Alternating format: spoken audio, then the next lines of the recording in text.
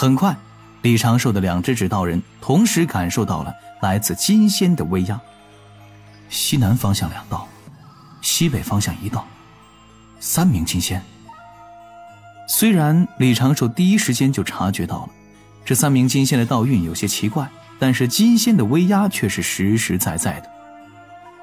三名金仙，局势有些捉摸不定了，确实不好应付了。黑暗中，李长寿再次闭上眼睛，心底默念一句：“人子三号指导人，启动。”小琼峰的丹房中，正坐在丹炉前发呆的李长寿身体颤了一下，双目之中渐渐有了灵光。他立刻关闭小琼峰周遭大阵，对灵娥传声。在湖面上修行水遁与土遁切换的灵娥，顿时愣了一下，随后两步跳到空中，朝着湖边的草屋冲去。师傅，师兄在丹房炼丹昏过去了，你快过去看看呀！听着林娥那惶急的呼喊声，李长寿的心神却被西北方向三千里之外的群敌所吸引了。这群强敌开始进毒阵了。他们一直贴地疾飞，隐匿身形，却忽略了前路的查探。最前方十多道身影直接冲入了西北方向的第一处毒阵，毒雾爆发，立刻有两个人直接扑倒，但是其他的十余人麻木面容毫无波动，他们反应也算迅速，身周的仙光妖力绽放，取出解毒丹塞入口中，并且立刻朝着后方退去。这些人前冲的阵型顿时大乱，有阵法，是毒丹做成的简单陷阱。他们果然有提防，用法力吹开阵法，速破之，不要错过了汇合的时机。当下，几名天仙境的大妖向前催起神通，将这处毒阵轻松吹开。就在这短短的时刻。此前冲入毒阵的那十多个人，又有四五人吐血惨嚎，元神直接飞散。万牌毒丹品质超然，当前战果六个真仙，一个天仙。紧跟着西南面那群敌军也冲入了那边的第一道毒阵所在密林。李长寿找准时机，主动催发此地毒阵。绿雾飘舞间，战果再增五针。另外有一位天仙被毒伤元神，短时间内失去了战斗力。毒阵骚扰战术，开门绿。话说回来，万凌云长老对绿色当真是太过偏爱了。毒丹、毒物、毒粉都泛着浓浓的绿意，李长寿就不同了，他追求极致的无色无味。这两只身负重任的指道人，被李长寿维持着遁法，与树木、水潭相融合。李长寿。则在暗中继续观察，通过这两只指道人控制后续的毒阵。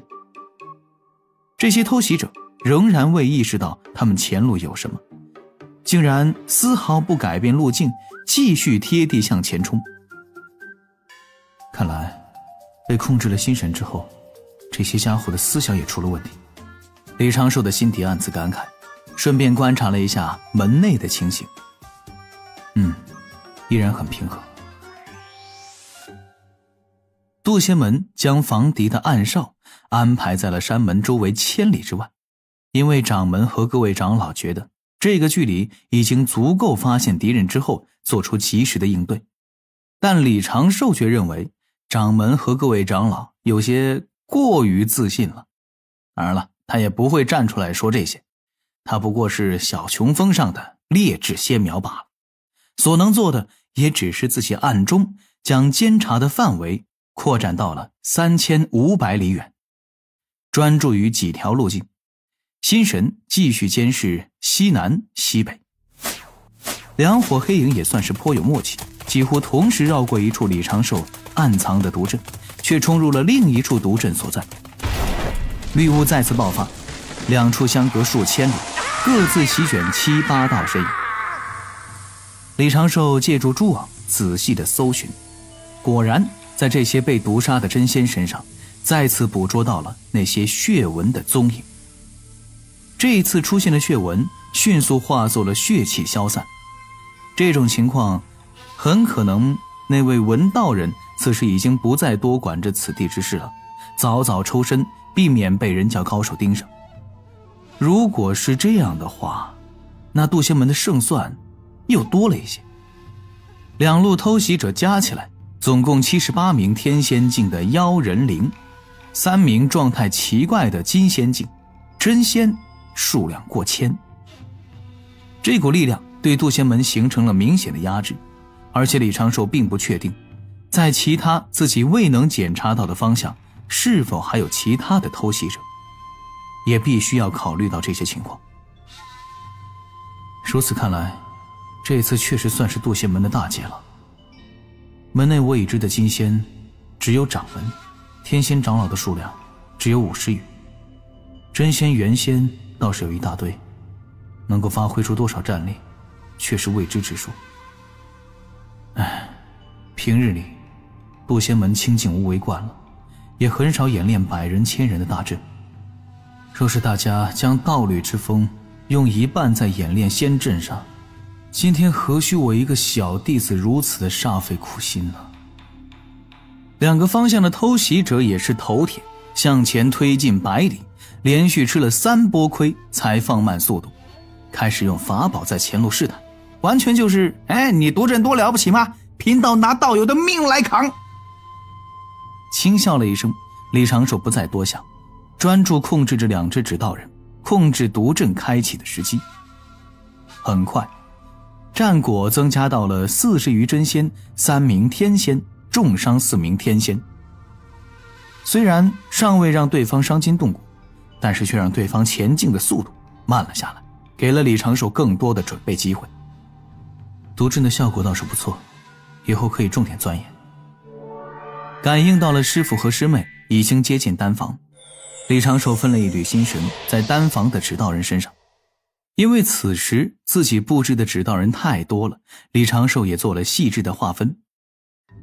天字指道人负责开战之后反包围，他们各自带着大量的原版纸人与毒粉。气息样貌确保与李长寿没有任何相似之处。他们登场是在大战爆发之后，待大战落幕，这些指道人也会迅速退去。地字指道人负责开战前预警伤敌之事，主要用来控制毒阵。各自气息样貌也是与李长寿完全不同。有两只地字指道人此时正在发挥作用。人字指道人。负责保护师妹师傅，数量虽少，但是都安排在了师傅和师妹的身旁。就比如此时的人字三号，就负责稍后陪着师妹和师傅，装作是他的真身，跟师妹一同赶往地脉逃生。小琼峰复合大阵，后续自有天子指导人接手，这里也算是一处能够埋葬强敌的陷阱。丹房外面传来了几声扑通的声响。那是几只修灵石玉蛙跳进了水池，就听灵娥与齐元老道在外呼喊：“师兄啊，长寿，你怎么了？”两道身影急匆匆的闯入了丹房外的阵法。齐元看着正盘坐在那儿的李长寿，略微一愣，扭头瞪着灵娥：“嗯，你不是说你师兄昏迷了吗？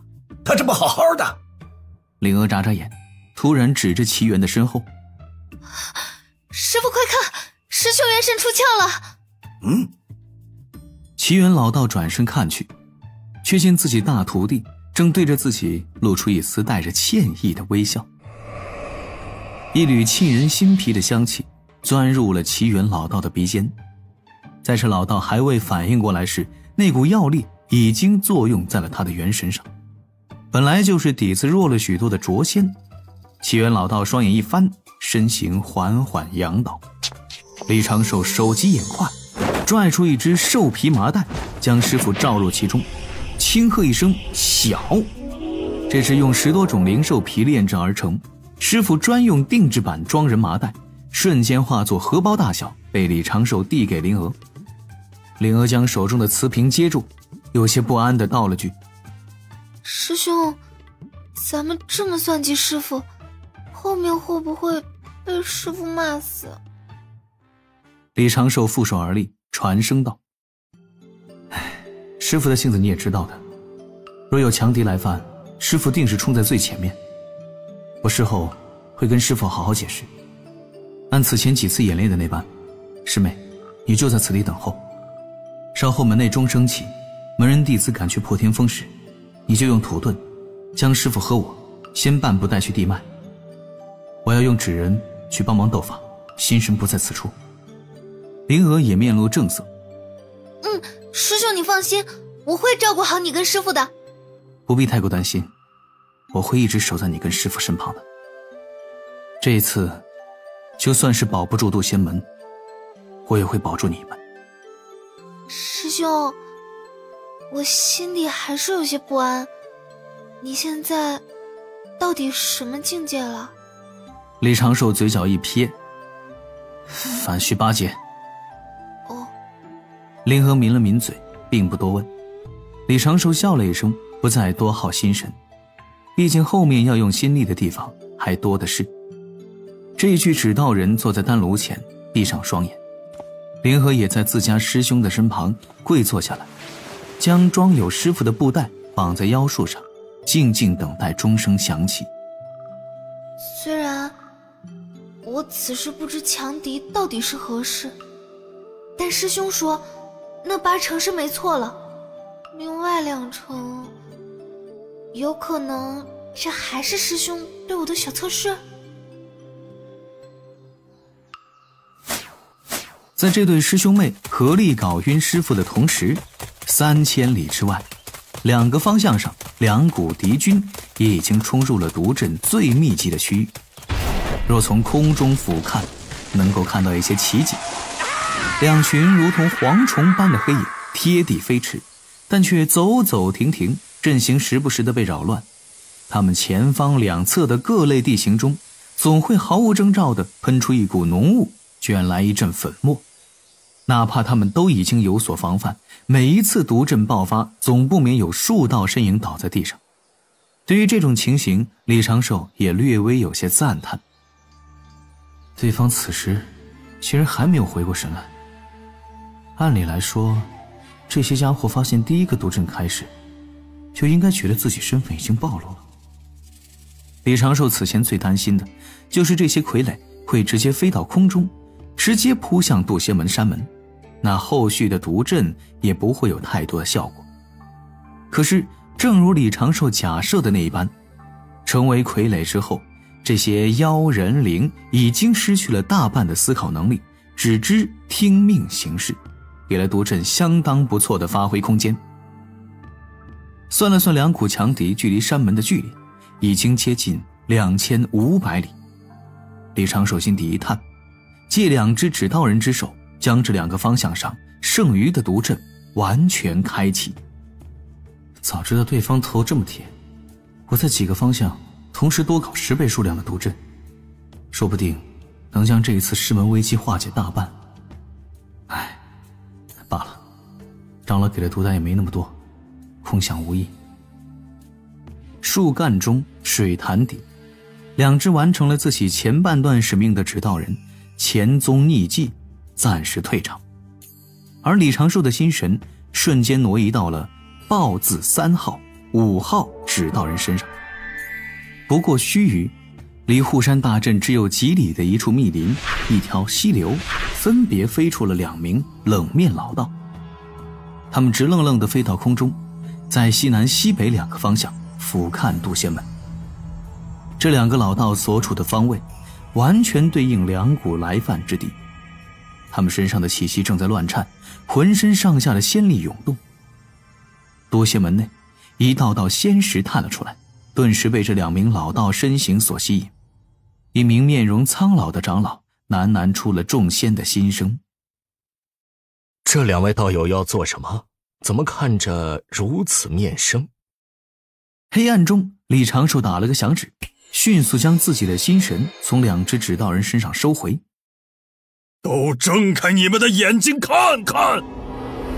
这两个老道各自仰头大吼，由内而外爆发出璀璨的仙光，言罢，竟在大阵之外当场自爆。轰鸣声若滚滚天雷，暴涌的仙力化作气浪，跌宕前冲，将护山大阵吹得不断的颤抖，也让渡仙门上上下下目睹了这一幕的仙人们完全摸不着头脑。这是咋回事？突然冒出两个道人，吼了两嗓子，直接自爆了，就为了震一震护山大阵，给我们听个响。渡仙门的掌门也被惊醒，从打坐中醒来。金仙的仙识顺着两个方向看去，顿时发现了这两匹正迅速冲向渡仙门的黑影。不好！这位中年面容的道长，一步冲出自己的闭关之地，现在在破天峰之上，看向西北，又看向西南，口中一声大喝，声传数千里。何方宵小，胆敢来犯我渡仙门？各峰长老门人听命，备战迎敌，护卫山门。主殿侧旁的大钟撞柱，立刻被两名面色黄急的真仙执事抱住，奋力地敲响门内大铜钟。门内原本闭关的、修行的、下棋的、说笑的、搞道侣生活的，尽皆被掌门的一嗓子给喊醒了。各峰立刻冲出了道道身影，另一面。尚在两千多里之外的两群蚊子傀儡，总算是发现了他们已经暴露行踪的事实。戴着一张枯木面具的原则老道，与其他两位伪金仙，在两个方向同时下令。原本贴地疾驰的身影，一排排迅速冲向空中，结成两片厚厚的云朵，同时赶向渡仙门。这三名。原本藏匿了身形气息的金鳌岛炼气士，各自的金仙威压完全爆发。渡仙门之内，掌门与另外一道金仙境气息掠空而起，以作回应。李长寿暗中观察了一下，门内另一道金仙气息，竟然是从道藏殿中冲出的。那是麒麟长老。哎，这个道号果然有古怪啊！